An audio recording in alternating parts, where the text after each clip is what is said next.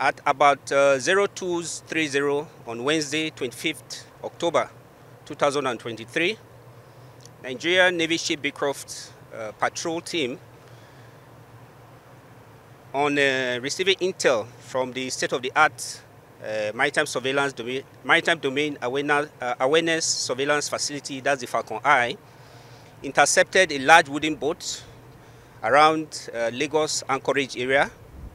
At the time of arrest, the vessel was en route to an unknown destination and it had a crew of eight um, and 300 250 50 liters drums as well as pumping machines and other items.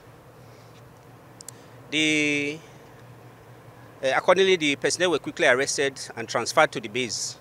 And this uh, proactive uh, response by the team, uh, I must say, saved the nation a large uh, quantity of petroleum products which could have been used by the common Nigerians.